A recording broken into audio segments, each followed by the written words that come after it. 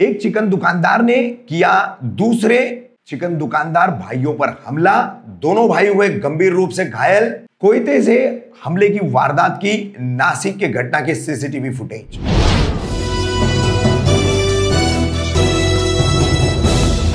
Rafiq Kamdar, Hindustani reporter में आपका स्वागत है। गत 26 जुलाई, सोमवार को नासिक के वडाला नाका पर एक खुनी वारदात हुई है और ये खुनी वारदात दो चिकन दुकानदारों के बीच हुई है। गुडलक चिकन सेंटर है और उसके करीब में ही समीर खान और उसके भाई का भी चिकन सेंटर है। गुडलक चिकन सेंटर को एक महीना ही हुआ है, अभी खुले हुए और धंधे को लेकर के, व्यापारिक प्रतिद्वंदिता को लेकर के ये संघर्ष जो एक तरफा चल रहा था, जिसके चलते इमरान, सूफियान, हसन, ये पिता पुत्र हैं सभी, हसन जो है वो बाप हैं, इमरान और सूफियान दोनों बेटे इन लोगों ने कोयते से समीर खान और उसके भाई पर जानलेवा हमला किया है। ये पूरी वारदात सीसीटीवी में कैद हुई है, वो फुटेज हम आपको दिखा रहे हैं 26 जुलाई सोमवार की। और घटना की सूचना मिलने के बाद पुलिस ने मौके पर पहुंचकर स्थिति को नियंत्रित किया।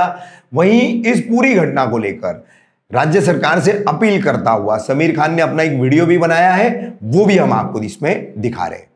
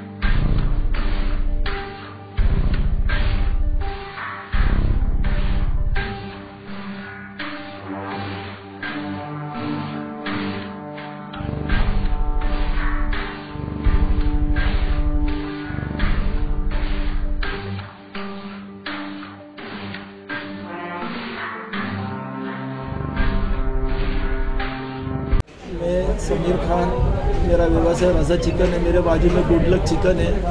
अभी खोला उसने, महीना भर हो रहा, महीना डेढ़ महीना हो रहा उसको। उसने पहले गिराक गिराक बुलाता था, ये करता था उसके ऊपर। कल मेरे छोकरे को आके उसने काम वाले लड़के को आके गाली गलोच किया कि हमारे आंखी भी आया, कल मेरे को जान से मारने की धमकी दिया उसने। हमने ताबड़तोड़ गए भद्राकाली पुलिस स्टेशन के अंदर एन सी नोंदे, उसके नाम की उसका नाम है इमरान दूसरे का नाम सुफियान और उसके बाप का नाम है हसन। इनका गुडलक चिकन है। मेरे ऊपर आज उन्होंने कोयते से हमला किया मेरे भाई पे मेरे पे।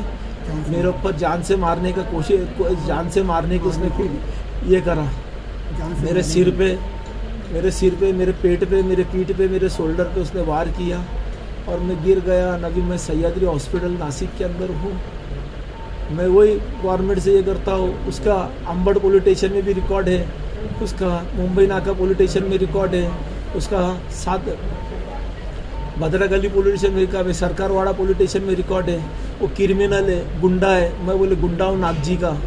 मैं तुमको जान से मार डालूँगा, तुम्हारा तुम्हारा खानदान ख़त्म कर दूँगा, तुम्हारे बच्चों को मार दूँगा, बोले। ऐसी धमकी देके मेरे पे अटैक कल मेरे को धमकी दिया, आज मेरे ऊपर अटैक किया उसने। उसके ऊपर बहुत केस है। उसके ऊपर अब कानूनी कार्रवाई होना चाहिए।